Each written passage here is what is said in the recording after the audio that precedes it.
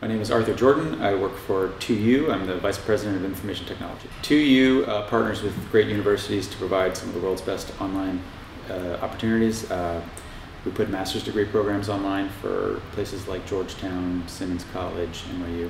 2U is a uh, online program manager. It's a somewhat new um, uh, service. We uh, take over a lot of different parts of a university experience. In providing our platform uh, to universities, we sit our technology stack on top of some of their services, um, and we have a couple of key exchange points.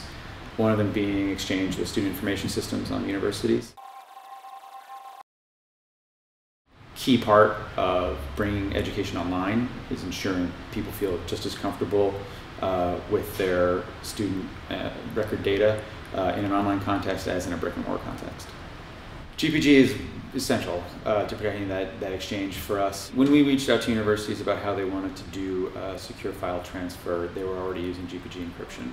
We use uh, secure FTP for the transfer encryption, and then we also use uh, GPG to ensure that the files are encrypted when sitting on the servers. For us, the biggest strengths of GPG are uh, the, the vetting that it's gone through as a, an open source product.